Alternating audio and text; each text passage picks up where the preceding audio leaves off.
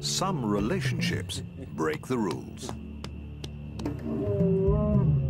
Territorial and terrifyingly strong, lions don't usually accept people into their pride.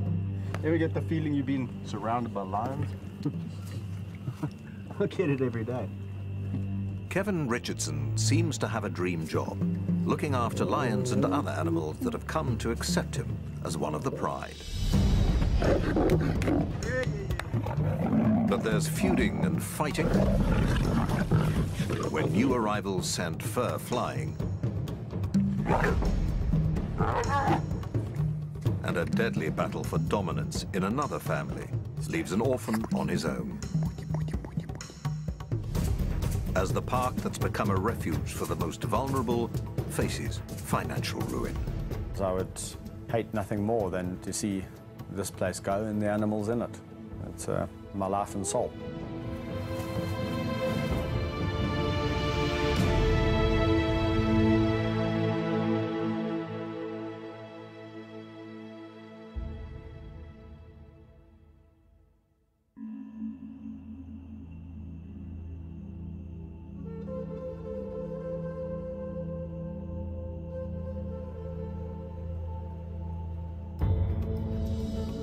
The private wildlife sanctuary, dubbed the Kingdom of the White Lion, covers almost seven square kilometers.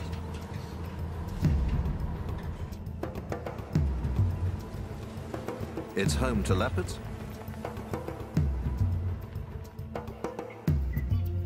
hyenas, and lions. One of the largest and most impressive prides in the park is dubbed the Big Kings.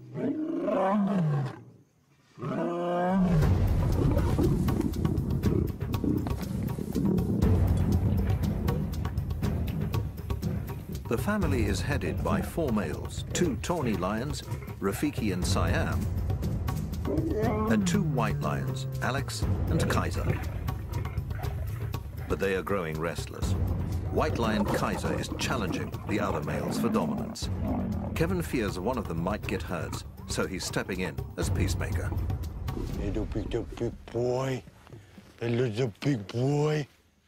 As soon as he reached sexual maturity, everything changed. Um, and he just became interested in one thing, and that was the woman. He's just uh, taken it upon himself to be dominant over them all the time, and he gets extremely aggressive and unpredictable. And this results in extreme fighting uh, between him and the other lions in this group. One lioness in particular is the object of Kaiser's affection. Already battling to pay the bills, Kevin can't afford any new cubs to house and feed. Females are given contraceptive implants. But males still retain their natural mating instincts. Unable to satisfy these natural urges can make them tense and frustrated. Kaiser needs a new home before his frustrations lead to violence. It's only a matter of time before we land up with someone or some uh, lion being killed in this group um, or exorbitant vet bills because the lion's got its half his face hanging off. And that's, that's the reason why we're going to have to uh, move him on.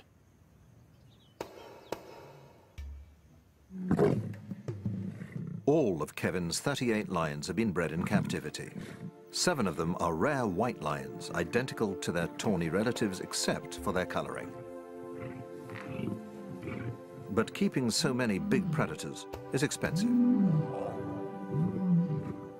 To run a park of this nature, you are looking in the region of around about uh, fifteen to twenty thousand dollars a month, and that's just maintenance, anti-poaching patrols, staff, keeping the electric fences clean. You got your little magic pliers, you know, feeding the lions, watering the lions, making sure they've got proper veterinary health care, they've been deticked, vehicles, petrol, fetching food. It's a big job. Uh, people, people don't realize what, what a mammoth job it is, taking on looking after uh, a lot of lions, you know, not just one lion, it's, you know, a lot of mouths to feed. Kevin helped to set up the park as a giant film set for a movie about a white lion. It was his job to look after all the animals on set.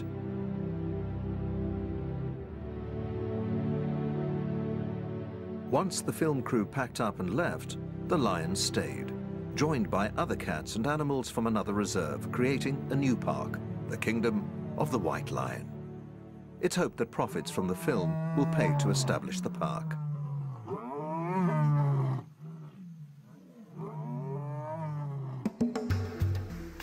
Managing the reserve is a full-time job that includes caring for animals from the time they're born. There's a nursery for cubs, like these young lions, the last to arrive before all of the lionesses in the park were implanted with contraceptives. No, your tongue is rough. So this area over here is known as the nursery area, um, where all the, the orphaned or abandoned youngsters come. And in this particular case, we have two lions that are not related, uh, Mfumo and Vayetsi, about 10 months of age. And these little hyenas were also abandoned. So they all land up here in the nursery area where they can get the, the care and the love and the attention that they need. The two lion cubs are growing up fast. They'll need more space and the chance to mix with adults to develop social skills needed to thrive in a pride. Incorporating the youngsters into a pride will be difficult. Newcomers are often rejected or attacked. Their easy life in the nursery is about to come to an abrupt end.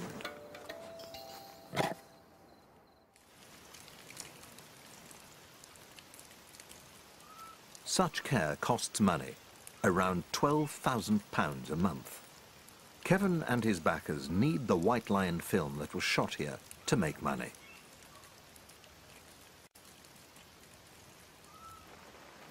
Profits are desperately needed to pay for running costs and the transformation of the reserve into a zoo for paying visitors. If the cash they need doesn't start to flow in, the park and its inhabitants face an uncertain future.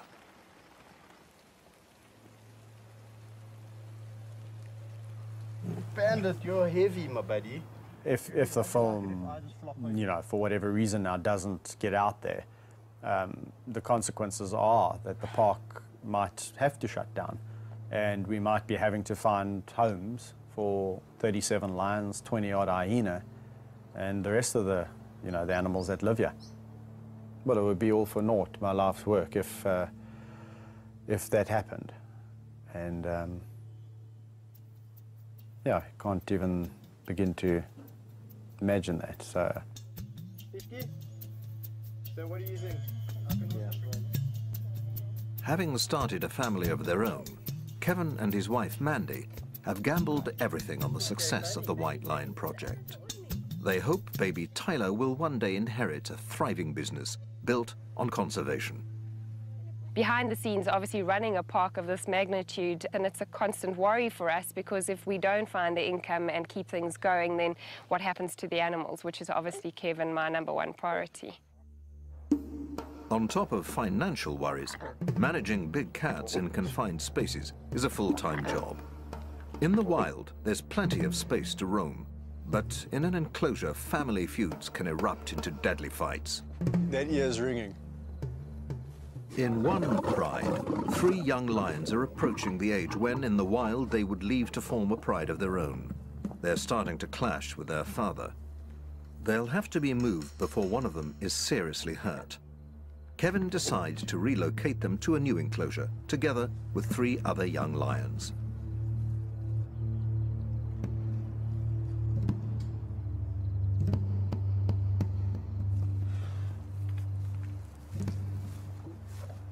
Having hand raised and spent intimate time with all of his big cats, Kevin has a good insight into which of them should get along together. But in this case, there's an added complication. A hyena that thinks it's a lion. Spunny, the hyena, has grown up with three of the young lions from the time he was born.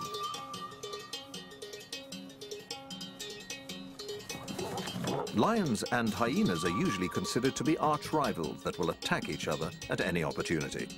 But Spunny has developed feline behaviors that would make him an outsider among other hyenas. He'll stay in the pride where he's long been accepted as an honorary lion.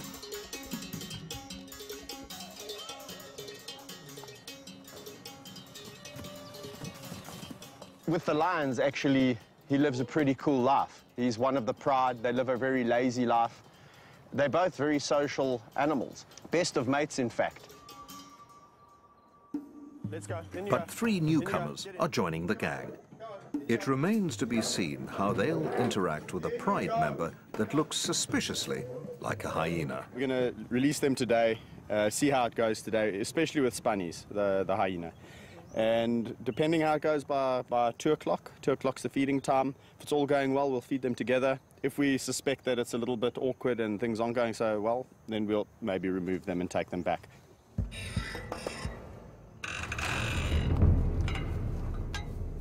Experienced keeper Rodney Nombakana is the only other person allowed to handle animals in the reserve. Young lions are notoriously unpredictable. As the two groups meet and establish a hierarchy, nervous tension can easily turn to aggression. When they fight like that, and uh, I mean, it makes a lot of noise, and, and to a human being, it seems very scary. But to lions with their thick skin and all of that, just a, a wah, wah, wah, wah, wah, they immediately are showing who's more dominant than the next. One group lays low, while the other three lions and Spunny the hyena look to Kevin for reassurance. So at the moment, we're in a bit of a apartheid situation. where We've got this group, um, including Spunnies. Spunnies is on the periphery, and myself, and the three newcomers, and it's segregation. But it's gone really well. I'm, I'm really happy about it. There's been a little bit of nose touching and, and that kind of interaction. No aggression from either side. The two groups soon integrate and start to make friends. That's fantastic. Even Spunny finds his place in the new pride. Hyena wins. But the real test is still to come. Feeding time will determine whether the new group can coexist peacefully or whether a battle for a best morsel will descend into sectarian war.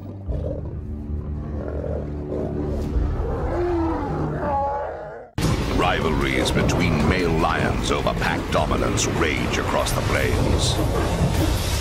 But only one can be crowned the king. Lion Ganglands, tonight at 8 on Nat Geo Wild.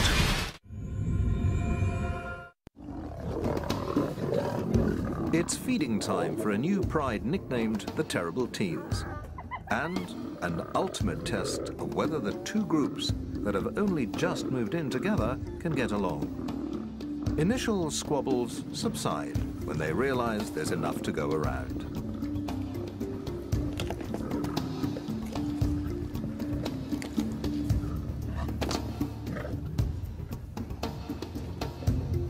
Bizarrely, the new pride includes Spunny the hyena, raised with lions since birth. He thinks he's one of them and has been accepted as such. Lions, like people, have individual personalities that can clash when different groups are brought together. The terrible teens seem to be getting along just fine. But elsewhere in the kingdom of the White Lion Reserve, another big cat is lonely and left out. Thor was a star of a film shot in the park. The film that manager Kevin Richardson hopes will help pay for a plan to turn the reserve into a visitor attraction. Income is desperately needed to pay for the care of animals like Thor. Lions are social animals, and Thor has been on his own for far too long. But there's a shortage of suitable companions. Thor's about seven years old now, and he's way past the age of forming new bonds with other male lions. Come, come, come, come, come. So it's not an option, you know, to put a male lion with Thor. The only option really is females. It's just a really difficult um, situation at the moment because uh, the nature of the kingdom is that we've actually got far too many males compared to females. And the females that would go with Thor would have to be on the pill. And we don't really want to just acquire two female lions uh, to put with Thor. Long walks provide much needed companionship. But despite Kevin's best efforts, he is increasingly concerned that Thor is lonely. When the days go by and, and I've had a busy week, the only lion that really is in the back of my mind is old Thor because I know he definitely needs some love and attention. Out of all the lions I walk with, this must be my favorite because I know how much he needs this enrichment. This is really important to him living as a bachelor. So, you know, whenever he sees me, it's like, come on, Kev, can we go for a walk? Can we go for a walk in the greater area? So I try and take him out more than the others because they've got, you know, each other's company. Hello, my big boy. what you been doing? Hey, you having fun? Despite their close friendship, Kevin realizes that the lonely bachelor needs the company Come of on. his own kind. They need to be robust females, strong enough to hold their own against the big male. Only two lionesses fit the bill.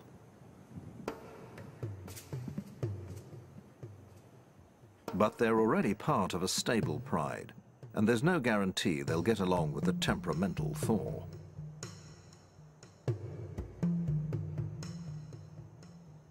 Before introducing them to the lonely bachelor, Kevin will ensure the females are fitted with contraceptive implants. He can't afford any more cubs to feed. There's a big crew of people, and everyone's excited, and they just want to get excited. He's counting on the coming feature film to bring in some much-needed income. But publicity shots are interrupted by yet another creature crisis, this time in the hyena den. Civil war has erupted in one of the groups.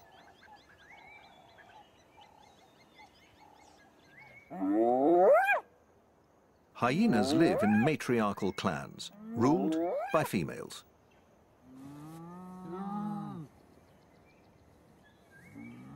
They communicate using a complex language of body movements and sounds to establish their social hierarchy.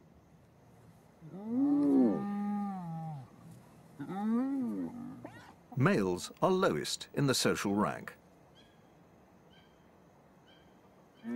In the warring clan, a mother is fighting with a daughter that's challenging her position as a dominant female.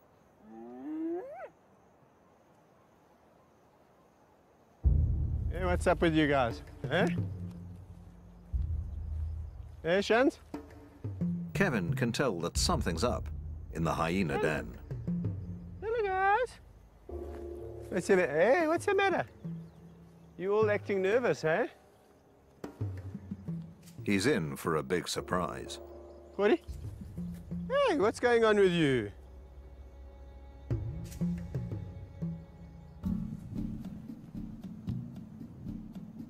The dominant mother of the hyena clan is nowhere to be seen. Where's Gina? She in the den?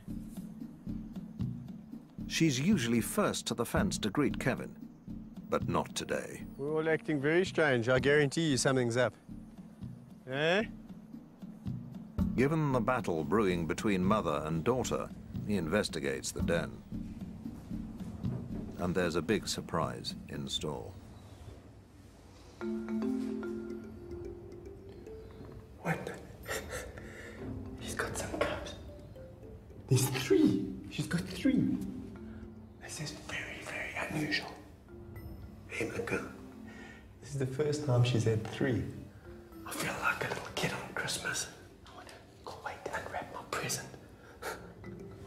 This is amazing because she's actually very calm. Gina's a very protective mother. In fact, ferociously so. You can imagine she will protect these cubs at all costs.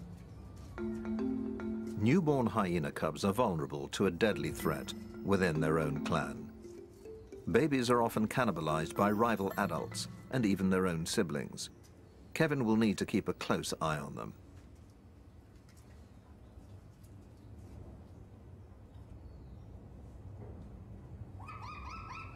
Their mother is also alert to any potential threat. Hello, boy. Sure. Hey, mommy doesn't want me to come too close. Nice, nice, nice, nice, nice. Sure. That's nice. That's nice. Mom and, mom and dad. Turned out to be an awesome day. For Kevin, one of the biggest rewards is watching young animals mature into adults.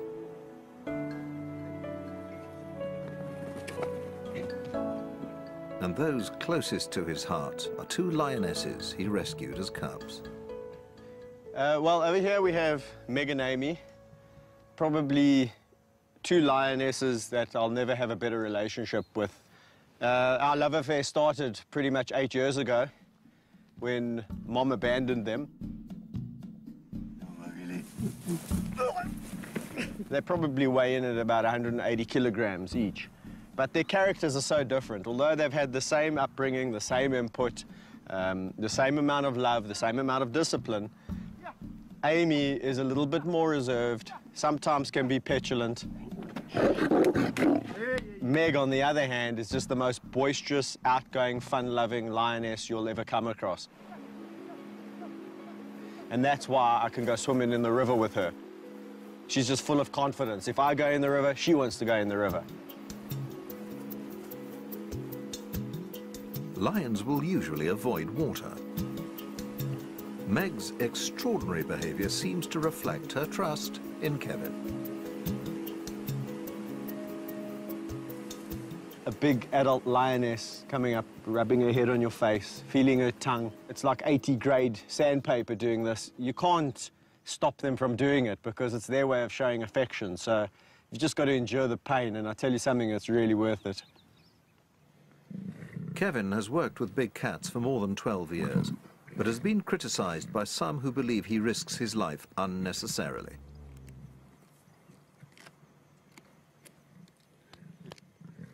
Yeah, I get I get criticised all the time for the way I interact with the lions. You know, a lot of people say, "Do you really need to interact with them that intensely?" And you know, it's it's the only way I really know. But Kevin believes his intimate approach to big cats, from the time they're cubs, is key to his success. He claims he can read their moods and personalities, what they like and dislike, he won't interact with any lions he doesn't know.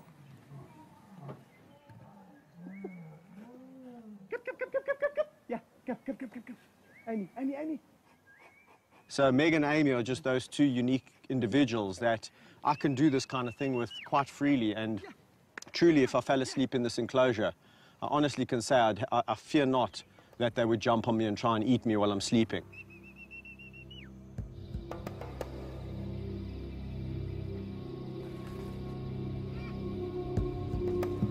It's something he wouldn't dare to attempt with wild lions, assuming he could find any in the first place.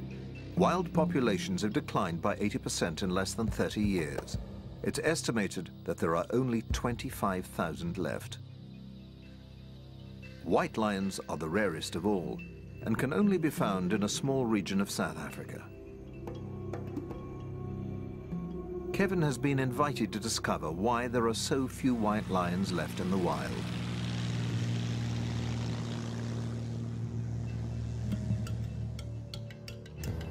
He is flying to the Timbavati Nature Reserve, part of the Greater Kruger National Park, a vast wilderness area covering more than 23,000 square kilometers.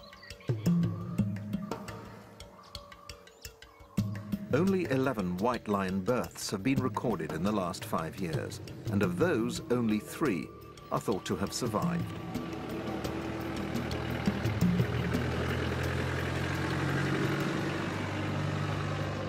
Kevin has joined ranger Patrick O'Brien and tracker Albert Ubisi to try and find them. If they succeed, it'll be the first time Kevin has seen a white lion in the wild.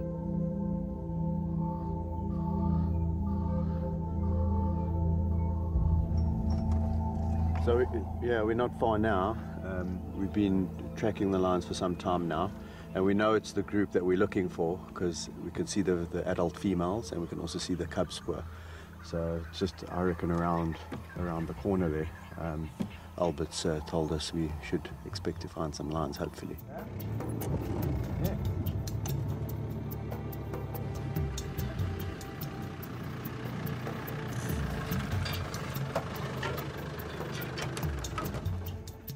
Sure enough, Kevin is rewarded with his first sighting of the rarest lions in the world.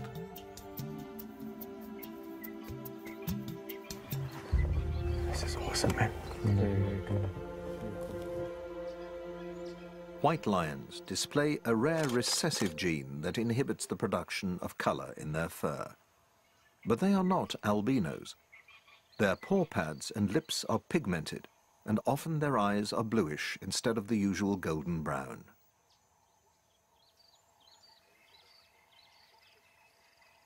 This rare gene is also carried by normal tawny lions in the region. But all lions must fight to stay alive in the wild, and the odds of survival are slim. Only around one in five survive to the age of two. One of the greatest threats comes from dominant males that try to kill any rival's offspring. But I mean, that just goes to highlight how difficult it is um, for the white to survive. I mean, we know mortality in high, lions is high. That's correct, yeah. But I mean, the fact that these lions have made it to 14 months, that's Yeah, a really, it's really done good, very well, good yeah. sign. Luckily for these girls, both are females, and of course that's very important to, uh, for the old pride and for us, of course, which means that girls always stay in a pride, they never emigrate. Uh, of course, lionesses are the core foundation of a pride, and with these two girls staying in the pride, that just means that, of course, it's going to be great in the future to see these two girls grow up and become adults. Isn't that going to be fantastic? Eh? Can you imagine, yeah, coming here in, uh, in uh, two, three years from now and seeing these massive adult white lions hunting? I'll, I'll, and, I'm, I'm going to be back. I'll tell you that much. very- I will be back. very impressive. Captive white lions, like those in Kevin's protected reserve, obviously have far better chances of survival.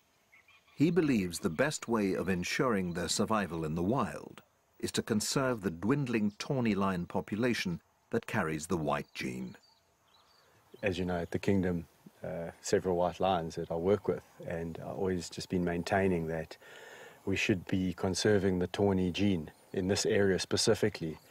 And, you know, when I was told that these cubs were born, I was Yeah. like, you see, I mean, that, that just goes to prove that there's tawnies carrying the gene. You know, the, both mothers are tawny, and uh, that clearly indicates that you know you don't have to be a, a white lioness to produce white cubs, and there's a very good chance, and maybe that uh, white gene is a lot more prevalent than what we actually think it is. And even more reason to be protecting these Exactly. tawnies in this area. Exactly, and and this is what's so important about this area is the fact you know this is the only place that they are naturally f- still found. Yeah.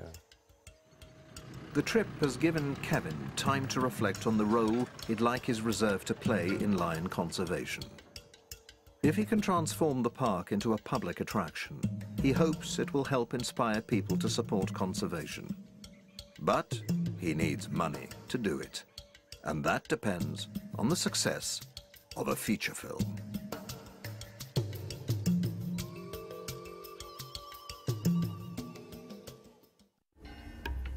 The future of the majestic animals in the kingdom of the White Lion Reserve depends on the success of a feature film starring its feline residents. Manager Kevin Richardson thinks nothing of play fighting with a quarter-ton lion. But public speaking is another matter, and he has to face the cameras to promote the film that's vital to the future of his beloved animals. Well, it's, it's tricky because when you're working with uh, um, animals that can eat you, you be. Four years in the making, it's hoped the film will make a profit that can be used to transform the park into an attraction for paying visitors. I'm not joking. I mean, the film took four years to make. And believe you me, when a lion doesn't want to do something, he doesn't. And you need better listen to him. You better listen to him.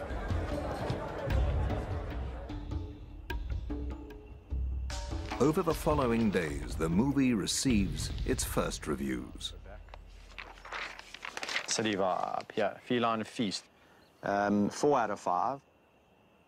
The critics have been kind, but it remains to be seen whether the film is attracting enough cinema goers to turn a profit. It costs money to look after big cats like Kaiser, a white lion that's outgrowing his enclosure and ganging up on the fellow members of his pride. But there's just no room left in Kevin's reserve.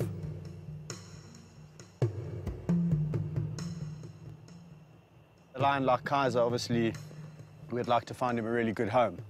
So you've got to go into, you know, the details of who's this person, how long have they been involved with lions, um, do they have the right uh, documentation, what's the facility like, what's his enclosure going to be like, because he's really been used to a great life. It could take months to find Kaiser a good home. Unscrupulous overbreeding of lions in South African parks and zoos means there are already too many big cats looking for homes. Some end up in so-called canned hunts, in which they are released to be pursued and shot by trophy hunters. Kevin simply won't allow that to happen to one of his cats.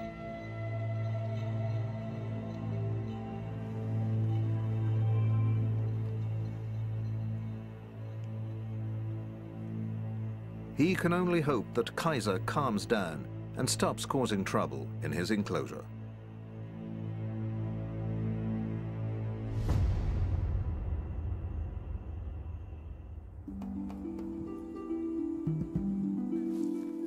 In the nursery, two cubs that have grown up together are fast approaching adolescence.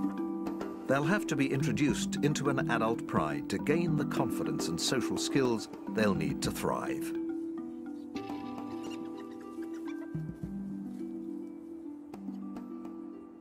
I'm a firm uh, believer in, in cradle to grave.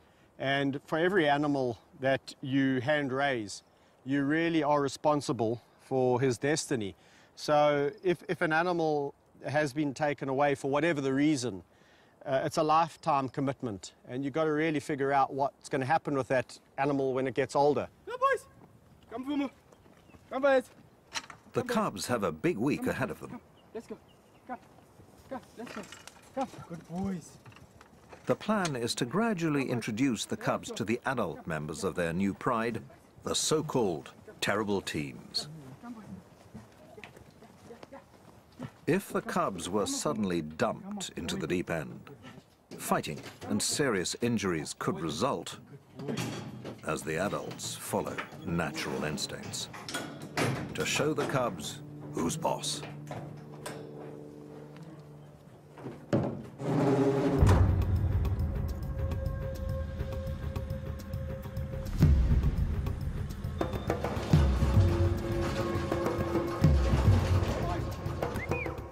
Concerned that the terrible teens may gang up on the cubs, Kevin decides to split the six adults into two groups of three. The cubs will stay protected inside their cage in case there's any trouble.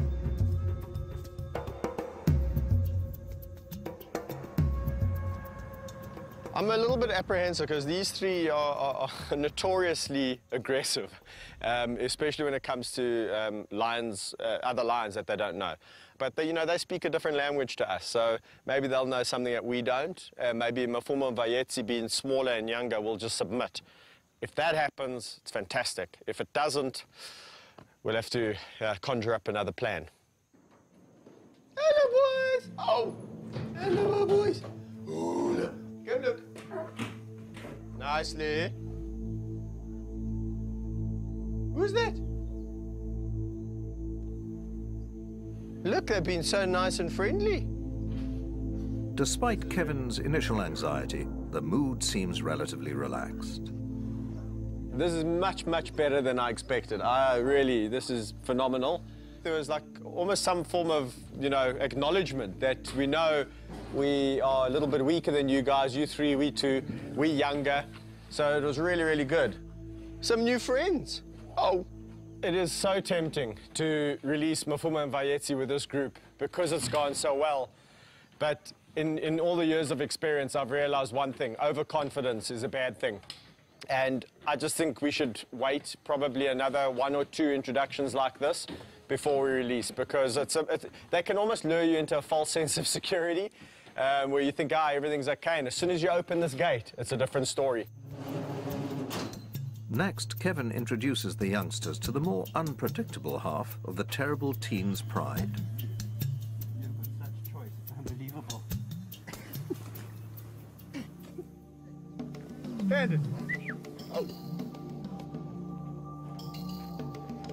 They're the oldest and most unruly trio of the group. Quickly surrounding the van, they seem to sense the new arrivals inside. Once again, the cubs are kept in the cage for their own safety. Oh, let's make It's not the terrible teens, but one of the cubs that gets aggressive, albeit from behind the safety of a cage. Come on, be nice. Be nice. Vayetsi, why you being a naughty boy? Don't be a naughty boy. Oh, whoa, whoa, whoa, whoa. Eh? That was really incredible interaction. It, it, it went exactly opposite to how I thought. I thought the youngsters would be a lot more submissive and roll on their backs, and that these guys would show some aggression and show some authority. It was exactly the opposite. The, the youngsters came at them full of aggression, and these guys were completely passive. How are you doing in and amongst all of this? Kevin keeps the van open for an hour, hoping that relations will improve. Hey, Vayetsi! Okay. So I think uh, what I'm going to do is let them all out together. They actually, we've done this a couple of times. Um, there's hardly any interest. The only line that's really showing any form of aggression is Vayetsi. That's because he's a bit nervous. Mafumu is completely relaxed. These guys are not going to do anything bad. I think if anything, it's going to come aggression from the youngsters. These guys might give a wah wah wah, and it's going to be all over. So I'm going to go and let them out. Be nice. Okay. Without the protection of a cage, Cub Vayetsi's bravado quickly fades into submission.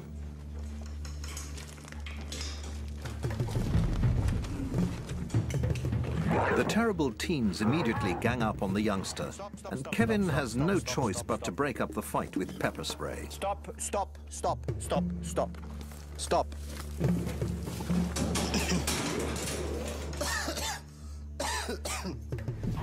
I just got a, a hunch that it would be okay to let them all out. They're all in jolly moods. And especially the youngsters have been extremely submissive. So that's... Uh, until Mr. Bandit decided to pick on them. and once he started picking on them, Bobcat came in from behind where I had to defuse the situation with a little bit of help from a friend called pepper spray. nice. I want nice, nice, nice, nice. In such cases, pepper spray is used as a last resort to stop fights breaking out, protecting the cats and himself. An accidental bite could prove fatal. Kevin rarely uses pepper spray, and it's always him that suffers most.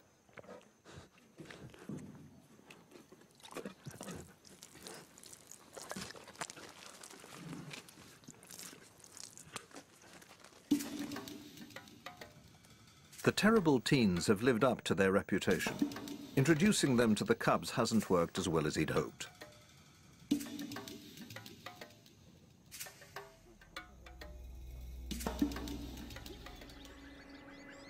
Discord seems to have spread to the hyena den, where a deadly power struggle is unfolding between a mother and daughter. Hello, Junior. Hey, Ma. How's your cub? Hey? Two of Mother Still Gina's newborn cubs have disappeared, What's happening? Hello, my girl. but the matriarch is out of the den and appears restless. Why are you out the den? You should be with your baby. He investigates the underground den. There's three. Hey, my girl. Hello, Gina. There's three hyenas. Hold on, I'm a bit confused here. You're not going to believe this Oslo. Uh, That must be her cubs. I didn't even know she was pregnant. Hey, hello, my girl. Hello, Gina. Hello. The matriarch's remaining cub is still alive, but her daughter Oslo has also taken up residence in the den and given birth to two more new cubs. Kevin believes the daughter may have killed and eaten her mother's cubs in a battle for dominance. Yet the two seem to be coexisting peacefully enough. Kevin hopes it's the end of bloodshed in the clan. But the civil war is about to escalate. What's going on in here, guys? Eh? A mother and daughter are killing each other's cubs in a savage battle to dominate the hyena clan. My goodness, what's going on here? Eh? A total of four cubs have disappeared. Matriarch Gina is avoiding the den. It's a bad sign. She seems a little bit uh, calm and friendly, and that's a bit worrying. Because if she had a cub, she would be a lot more uh, cautious and uh, protective. The hyenas are behaving strangely. The daughter and another male are raising their tails, a clear sign of aggression. These guys are showing signs of a little bit too much aggression, and I think we should start hopping out of here, right? Kevin investigates the den that just days ago was alive with newborn cubs. Let's just see if I can entice him down here. This is crazy.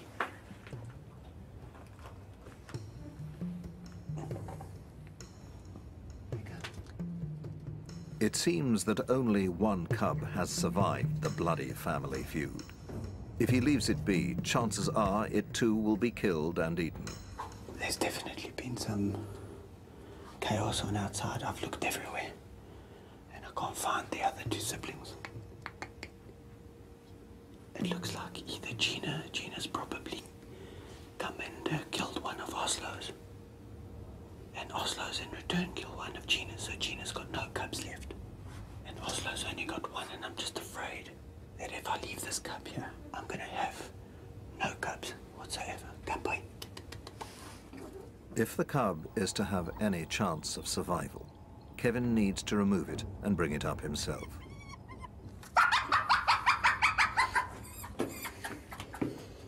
Slowly, buddy. Slowly, buddy, buddy.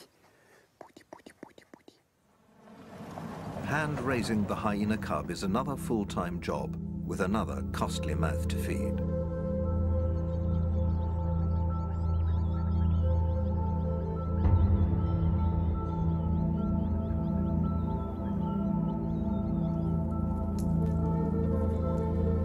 The park and its animals need cash to survive. And Kevin's pinning his hopes on making a profit from a feature film shot on the reserve. But it seems box office takings won't be enough.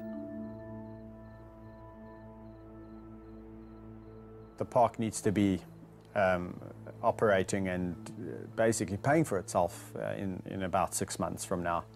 And if that isn't the case, yeah, again, it's going to be quite a, a battle to, to uh, see where we can kind of get funding from and uh, see if we can save it. Um, because I would hate nothing more than to see this place go and the animals in it. It's uh, my life and soul. It's not just Kevin's wife and baby who are counting on the park to succeed. The big cats, hyenas, and the staff that look after them are all part of one big extended family. We've been with these animals since they were young, so they are like, we are part of their family.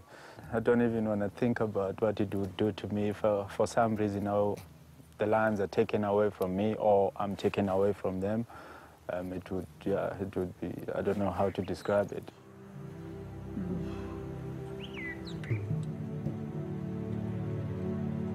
12 years ago, I made a little pact with two lions called Tau and Napoleon, and the commitment was to really see them through to uh, old age. And that's, that's a, basically a lifetime commitment, and I'm not going to throw in the towel uh, just because we've got a couple of financial uh, issues. Like the bush trails stretching before Thor, the lonely lion, the road ahead seems uncertain and strewn with shadows under a setting sun.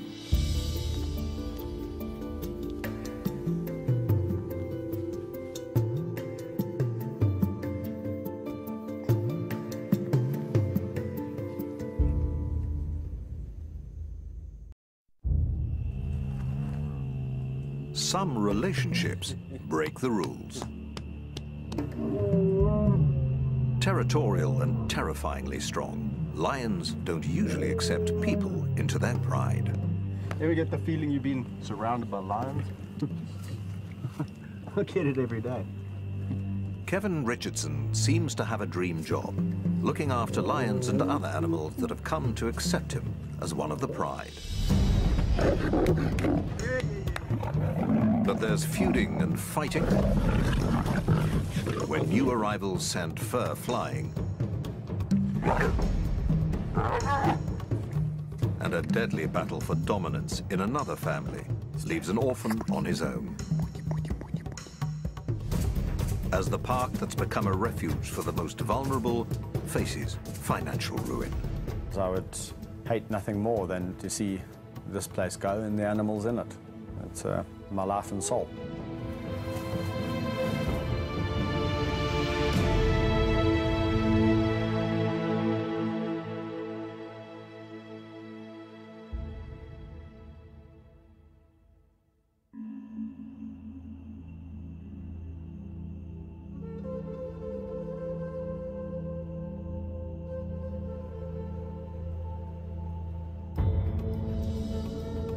Private wildlife sanctuary, dubbed the Kingdom of the White Lion, covers almost seven square kilometers.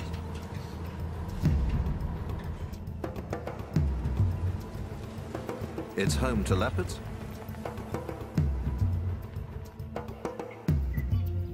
hyenas, and lions. One of the largest and most impressive prides in the park is dubbed the Big Kings.